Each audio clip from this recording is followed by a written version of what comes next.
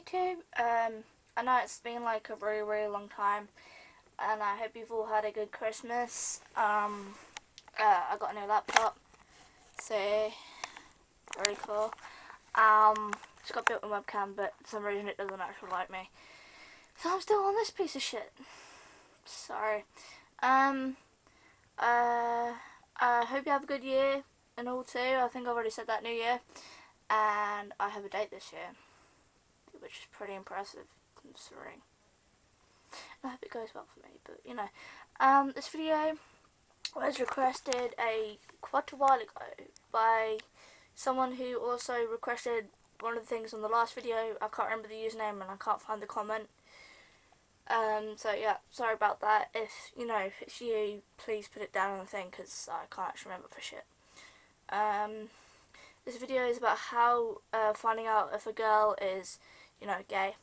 Um, to basically, in my opinion, if I had to go about this, which I haven't had to, obviously, I'd um, I'd slip it into like a conversation about sexuality, their view, their opinions on it, and uh, maybe maybe you can get something out of them that way. Um, if not, just talk about past relationship. If they say she instead of he, that's a big you know one up on them. Or basically, if you're brave enough, just ask ask them straight out, are you gay? But then again, that can be taken quite offensive, so maybe you shouldn't do that. Or stereotypically, which I hate this version, is um, basically thinking you know the stereotypical style, the taste in music, um, you know, that kind of thing. Um, I hope that kind of helped in some respects, and I know I'm making this quick, but I have a lot to do. I have to sort out stuff for tomorrow night. I have to probably go have a shower, that might help.